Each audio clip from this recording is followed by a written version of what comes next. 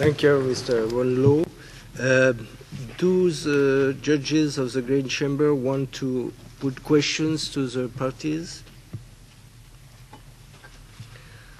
Uh, I see no hand, no arm, uh, with my eyes.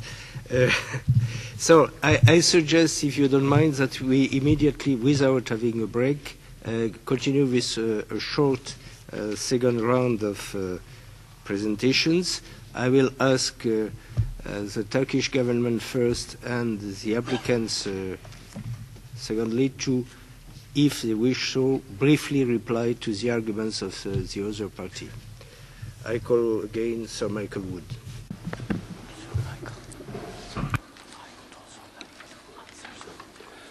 Mr. President, um, if the court would allow, we would, I think, prefer a very short break if we could have 10 or 15 minutes.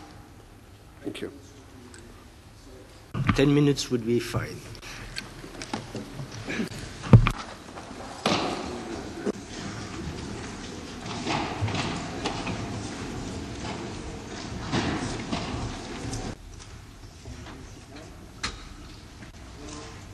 The hearing is resumed, and as I said, I will uh, ask for short replies as Turkey and the applicants. So, uh, Sir Michael, please.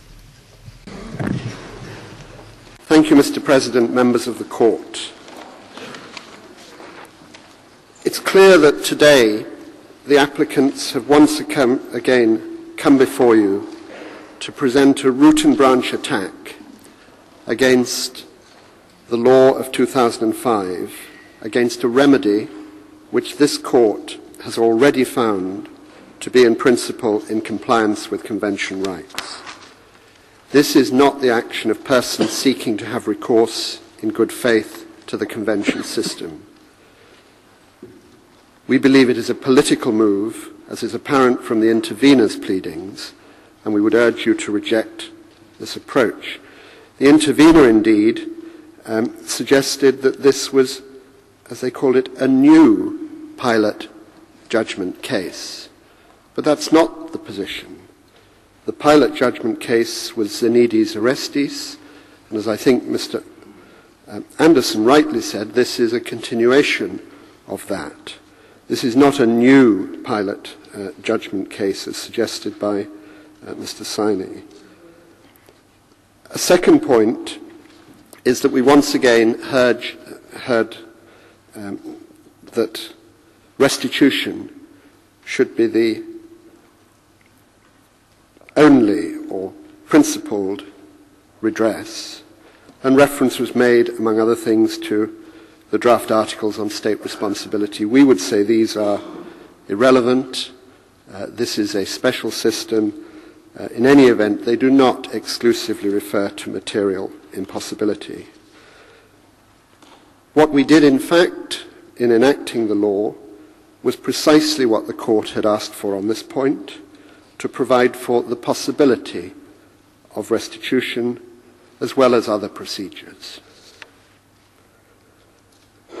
We heard a number of examples of individual cases uh, this morning, and I won't uh, address them, but I will make clear that we simply do not accept uh, the accuracy of what was put to you this morning by our opponents.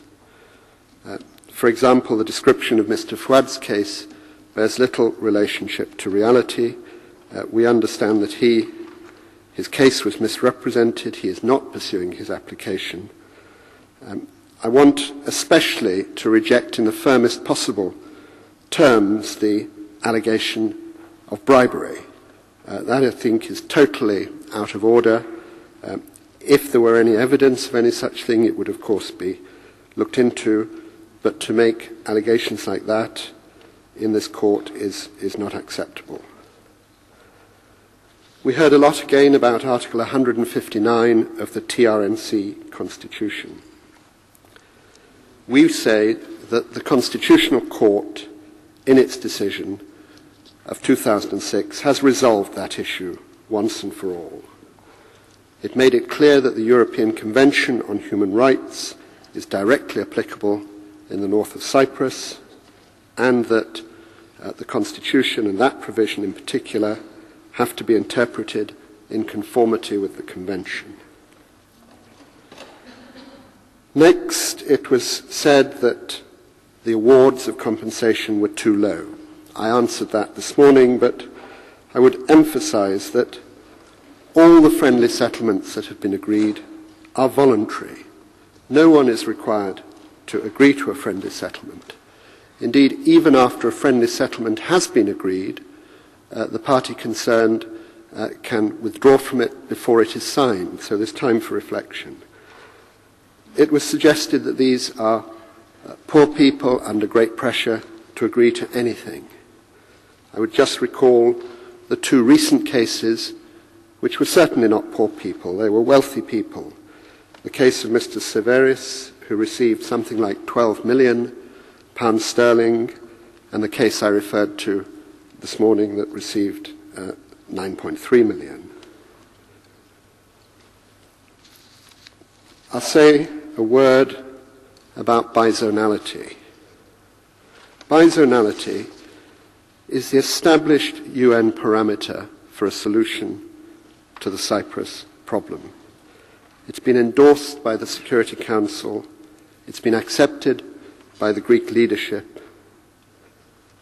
In his report, the Secretary General stated, and I quote, the bizonality of the Federation should be clearly brought out by the fact that each federated state will be administered by one community which will be firmly guaranteed a clear majority of the population and of the land ownership in its area. Of course, one can interpret bizonality in different ways, but that's really not a matter uh, for this court uh, in this case. It's a matter which is under negotiation in the delicate, uh, the delicate uh, negotiations being led by the UN. And finally, uh, Mr. Chairman, I would just come back to our basic point. Uh,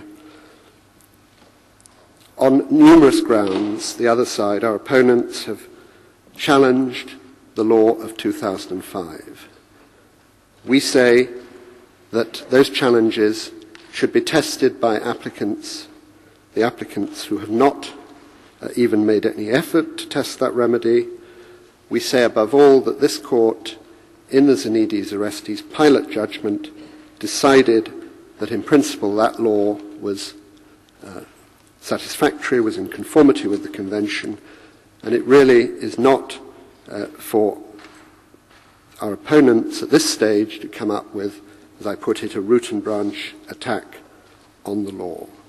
Unless I can be of any further assistance, that concludes my remarks. Thank you, Mr. President. Thank you. Mr. Anderson, please.